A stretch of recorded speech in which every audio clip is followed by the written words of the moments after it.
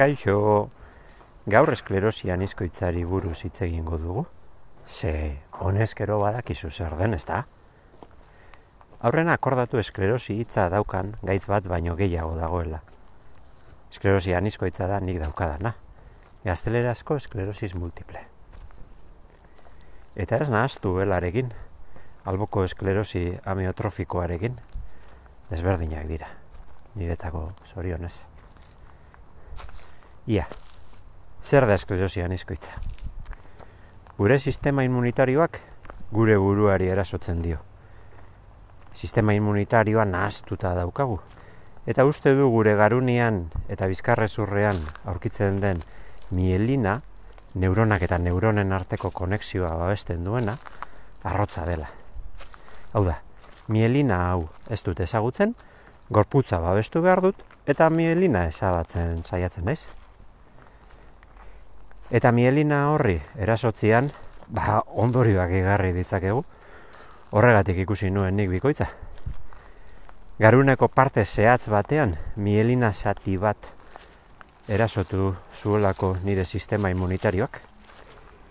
Erasoa diot, ze hori da, erabiltzen den hitza. Erasoka egiten du aurrera gaitzak. Eta eraso bat dagoenean, orban bat geratzen da garunean. Hori da, erresonontzian medikuek bilatzen dutena.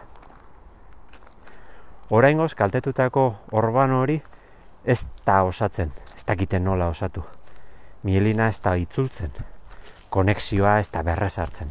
Nez eta gure garuna, listoa den, uste duguna baino gehiago, eta neuroplastizitateari esker, beste bide berri batzuk erabiltzen dituen, lehengoak ez duenean funtzionatzen.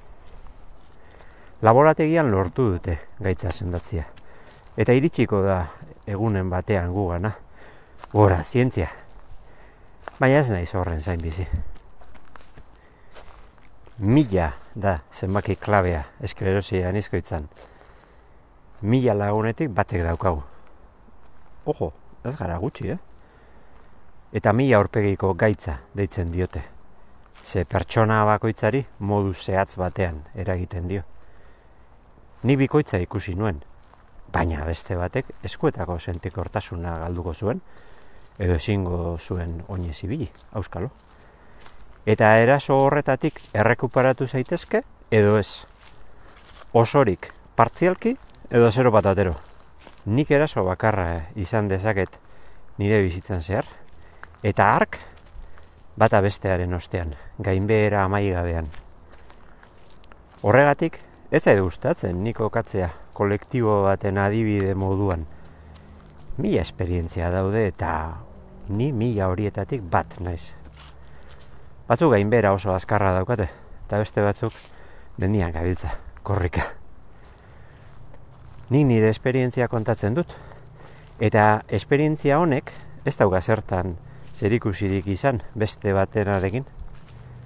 Horregatik ez aurpegiratu gaitza duen bati beste ura ondo bizi da, ba? Zu zergatik ez? Ez egin alakorik. Ez esklerosiarekin eta ez beste inongo gaitzekin. Bakoitzak bere egoera dauka, bere sama, bere motxila. Eta hori egiten baduzu, ez duzu piparrik ulertu, nik kontatzen dudan honetatik. Ziurgabetasuna da, gaitz hau ondoen definitzen duen hitza. Ez dakigu, bi arroinak sendituko ditugun, ikusmena galduko dudan, edota txixeari eutxial izango ote diodan, ezin da jakin. Lo egongo da gaitza betirako, edota bisitan pasako da, auskalo. Eta hori da, kudeatzen zaiena. Ziurgabetasun hori, bihar zer gertatuko den hori. Gaitza duten batzuk, ez dute planik egiten. Nik nire helburu eta planak baditut, zazpiko bidaia, adibidez. Nik ez dakit nola egongo naizen bihar, edo etzi. Baina, zuk badakizu? Pragmatikoa eta hotza izatea tokatzen zait. Egunean bizitzea. Gaur oso ondo nago. Bihar zer gertatuko den, auskalo. Eta ez dut etorri daitekeen eraso horri begira bizi nahi. Ez dut beldurrez bizi nahi. eraso hori etorri daiteke, edo ez. Akaso etorriko da eta jakingo dut egoerari buelte ematen. Oituko naiz egoera berrira, edo ez. Euskalo, akaso ez da beste erasorik etorriko. Behin biziko naizela sinisten dut, eta ez dut beldurraz bizi nahi. Aldudan gehien gozatu nahi dut. Bidean zerbait ikasi dudala iruditzen zait. Baina horri buruz, urrengo kapituluan hitz egingo dugu. Eskerrik asko horregotearen. Bezarka da estu eta handi bat. Aio.